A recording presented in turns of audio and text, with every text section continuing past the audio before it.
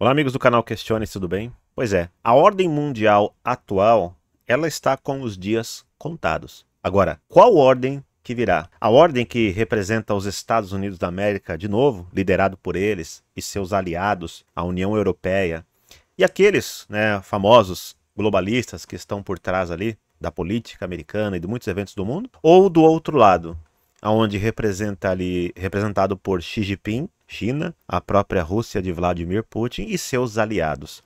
Quem é que vai vencer esse embate? Só que é o seguinte: deste grande embate, o mundo é, pode sofrer uma com uma verdadeira calamidade. Essa é a realidade. Porque aquele que detém o poder absoluto não vai querer largar o osso. E aquele que está vendo a chance de conseguir o poder absoluto e liderar o mundo, também, na minha opinião, não vai largar o osso. Então acredito que neste caso não haverá acordo, mas sim uma disputa até o final e após o evento em si de disputa, vamos ver quem é que vai liderar, talvez o que ficar desse nosso mundo. Dito isto, Vladimir Putin e Xi Jinping se encontraram e agora assustaram o mundo.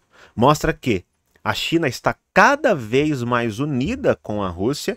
E aí eu pergunto a vocês: vocês lembram que recentemente todo aquele que sinaliza algum apoio a Vladimir Putin, o que acontece? Toma lapada. Vão fazer isso com Xi Jinping? Vão fazer isso com a China? Óbvio que não. O tratamento é totalmente outro. Vocês perceberam disso? Devido à posição que a China conquistou, que eles, onde eles chegaram, né? Então, ali com ele já falam mais macio, mais tranquilo, né? e ficam nessa. E agora o Putin está lá na China. Vamos entender? Dê o seu like, se inscreve no canal, ative as notificações para você não perder os próximos vídeos. Gente, e lembrando, entramos nos últimos dias, então agora é correr. Últimos dias para você poder participar da nossa rifa. Um iPhone 15 Pro ou 6 mil reais no Pix. Já fiz quatro rifas, tá certo? Então, peço a você aí que participe. Esta é a sua chance. Primeiro link na descrição. Já pensou um iPhone 15 Pro? Ou, se você escolher, 6 mil reais no Pix, o que, que você faria hoje? Então, link na descrição. Renato, quanto que é o número? 35 centavos. Qual o mínimo de números? 15. Vai dar R$ 5,25. Só que se você clicar nesses botões verdes aqui, ó, por exemplo, você pode comprar 200 números, 200 chances de ganhar por R$ 45,50. Boa sorte, combinado? Gente, olha isso. E eu, quando eu li, eu falei, caramba, arrepiei.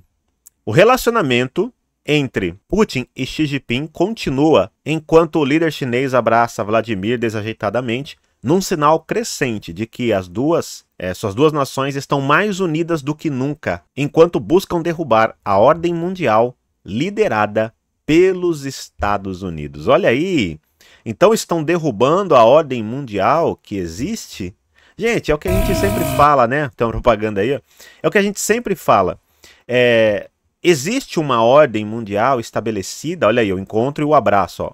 Uma ordem mundial estabelecida é, pós-segunda guerra mundial. Então veja, a ordem pelo caos. Teve um caos né, na segunda guerra mundial e de, deste caos nasceu a ordem que hoje o mundo conhece. E nós sempre falamos sobre o que? Sobre o advento de uma nova ordem. Porque esta ordem pós 1945 já se tornou obsoleta antiga. E nós estamos no meio de uma transição que é buscada por meio daqueles que controlam o mundo, vamos dizer assim, entre aspas, a transição para a energia renovável, para o verde, né? deixar o combustível fóssil de lado, mais controle sobre o cidadão, né? É, produção, por exemplo, do agronegócio diminuída da forma que é hoje, né? E entregue na mão dos superbilionários, né? É, até o gado, diminuição né, da, da, produção do gado, tantas coisas, são tantos fatores para esta nova ordem. E aí, né, é, do outro lado, nós temos o que? A ordem multipolar que o Vladimir Putin chama, que seria liderada principalmente por Rússia e China, mas que ele diz que todo mundo ia ser um pouco líder, né? Vamos dizer assim. Mas nós sabemos que no final, no final são eles que vão dar as cartas. E esse encontro com esse abraço abalou o mundo. Por quê? As pessoas agora, né, olharam e falaram: rapaz, China e Rússia juntas.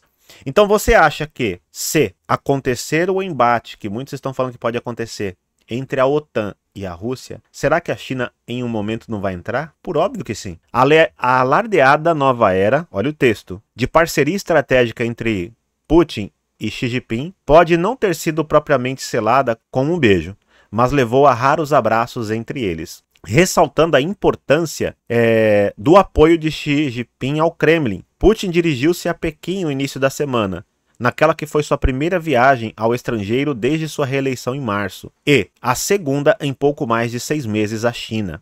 A Rússia, que enfrenta sanções ocidentais após a invasão da Ucrânia, depende cada vez mais do seu comércio em expansão com a China, que desafia a supremacia dos Estados Unidos em áreas que vão da computação quântica à espionagem e ao forte poder militar. Agora eu te pergunto: o negócio está cada vez mais estreito entre China e Rússia e aí, os Estados Unidos vão colocar sanção na China? Hã? Por quê? Todo mundo que, e eu não tô, preste atenção, preste atenção, porque tem alguns que gostam de distorcer nossas palavras. Não é porque a gente critica um que a gente está defendendo o outro, mas eu quero te mostrar a hipocrisia desses que hoje governam os Estados Unidos, que não são tão diferentes desses aqui não, ó. Ó, tá certo? Por exemplo, aparece o, o, o candidato lá, Trump contra o Biden, o que, que eles dizem? Ah, são extremistas, né? Estão tentando até prender o Donald Trump. Aí eu pergunto, qual é a diferença? Hã? Qual é a diferença? É a democracia que funciona, será? Olha como que a justiça está sendo usada para perseguir os adversários políticos, assim como acontece no Brasil. Então qual é a diferença? É? Então vem com esse papo, não, porque aqui, mas aqui é democracia, democracia. No papel, porque na prática tá muito diferente. E se olharmos para o Brasil, então a gente cai, cai para trás, né? Bom, então quando a gente fala de um, não é que a gente está elogiando o outro, não, mas eu quero expor aqui a grande hipocrisia. Por quê? Esses aqui, eles nem escondem o que são. Pior são os outros que estão escondendo o que são. Né? E aí eu pergunto, vamos colocar sanção agora contra a China? O que, que vai acontecer? Porque outros países que se aproximaram com a Rússia, quais foram as ameaças? Vai tomar sanção, isso e aquilo, vão ser punidos, e não pode mandar material, não pode isso e aquilo, né? Corta o comércio e tal, sanção para cá, para lá, e a China cada vez mais próximo. Mas isso aqui é o que? É como a China já se posiciona hoje no mundo e que dão um recado para os Estados Unidos falando: aqui não, aqui vocês não apitam. E que são, sim, é, a China é a nova potência, gente. A nova potência. Então eles estão desafiando diretamente os Estados Unidos. E embora o presidente Xi, de acordo com os princípios da cultura política da China, não seja conhecido pelas demonstrações efusivas de caloridade, agarrou Putin com força e pelos ombros e puxou-o para dois abraços firmes, ainda que desajeitados. Vocês viram aí? Realmente, gente, isso foi histórico, porque eles não são de fazer isso. Então isso foi o quê? Uma mensagem passada para o mundo. Estamos juntos. Imagens da emissora estatal CCTV mostram os líderes desfrutando de um abraço, do abraço atípico no ar noturno do complexo de liderança de Zongnanhai, na capital chinesa, enquanto assessores e autoridades bajulam e aplaudem do lado de fora, né? Olha aí. Então esse foi o abraço selando a nova ordem multipolar que eles representam, que eles desejam tá aí, né? E os seguranças ficaram lá, tem até um vídeo dos seguranças aí que foi também muito engraçado, que o segurança do Putin chega, olha pro segurança do, né, do, do Xi Jinping assim com o olhar assim, só faz assim, ó, opa, né? Aí o cara só responde com o olhar, os caras, ó, comunicação só com um toque aí. Então é isso que vem acontecendo o encontro, recado para o mundo, e o Kremlin já mandou ainda mais um recado. O Kremlin diz que irá retalhar por quaisquer ameaças nucleares e alerta que as tensões podem se espalhar para a Terceira Guerra Mundial. Depois de alertar que permitir que a Ucrânia ataque território russo com armas dos Estados Unidos poderia desencadear uma tragédia para a humanidade. Porque, passo a passo, né, os membros da OTAN estão dando autorização né, ou falando que vão, vão autorizar a Ucrânia a utilizar os seus armamentos para atacar diretamente o território russo. Eles estão dizendo, isso vai nos levar para o abismo. Aí vocês entendem do caos para depois vir a ordem? Ord ab caos. A ordem pelo caos. O que aconteceu na Segunda Guerra Mundial? Caos e veio a ordem. Aí nasceu todo tipo de organização que hoje a gente conhece né, como a própria OTAN. A diplomacia da Rússia com o Ocidente está no modo de gestão de crises e está focada em tentar garantir que as tensões não se transformem num conflito em grande escala, disse esta manhã um importante diplomata. O vice-ministro dos Negócios Estrangeiros alertou numa entrevista à agência de notícia TASS que as garantias de segurança que a Rússia procurou e discutiu com o Ocidente em 2021 já não eram relevantes e que Moscou não confiava na aliança militar OTAN. A OTAN continua o avanço maníaco da aliança em direção a novas fronteiras. Eles estão literalmente prontos para se equilibrar à beira de um conflito armado direto conosco. Bom, e todo mundo que está acompanhando sabe que essa preparação para um conflito com a Rússia está acontecendo. Avisamos que eles estão brincando com fogo. Os Estados Unidos há muito que se encontram num estado de guerra por procuração com a Federação Russa. De alguma forma, eles não conseguem compreender que se aproxima de uma fase em que será muito difícil gerir o que está a acontecer e uma crise esmagadora. A diplomacia nesse sentido está a funcionar, eu diria, no modo de gestão de crise e na prevenção de um deslizamento para um conflito realmente em grande escala, disse ele. Né? Então é o aviso que ele está dando, que está chegando a esse ponto. O ponto dessas duas potências se enfrentarem e aí né, tem as potências que compõem a OTAN e aí levam o mundo a uma terceira guerra mundial. Estão entendendo, gente? Então, nós estamos vendo que o mundo ele está num dos momentos mais perigosos da história recente.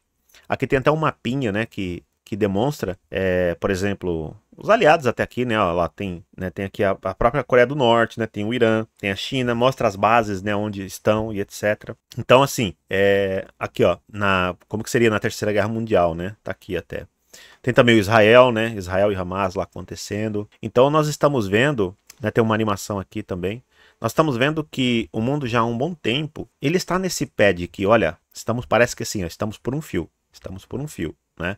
Então, eu acredito muito em Deus e acredito que Ele está segurando a mão do homem. É, eu não, não posso aqui falar, ah, vai acontecer a Terceira Guerra Mundial, ah, não vai acontecer. Mas a história nos diz e nos mostra que as coisas tendem a se repetir. E um terceiro conflito armado no mundo é uma questão de tempo. Porque são forças que a grande massa desconhece, que estão no curso, atuando no curso da história da humanidade, da Terra, e que estão vislumbrando o pós, o caos. Como que vai ser esse mundo? Entendam? Alguns códigos aqui. Deixe a sua opinião. É muito importante. Seu like, se inscreve no canal, ative as notificações. Nós vamos continuar aqui trazendo informações para vocês ao longo da semana, tá bom? Bom, Participe aí da nossa rifa. Então você pode ganhar o iPhone 15 Pro ou 6 mil reais no Pix. Eu acredito que vai te ajudar bastante, né? Então tem a chance. Tem o link aqui na descrição. Estamos nos últimos dias então. Então tem que correr agora porque os números são limitados. grande abraço, que Deus abençoe e até a próxima.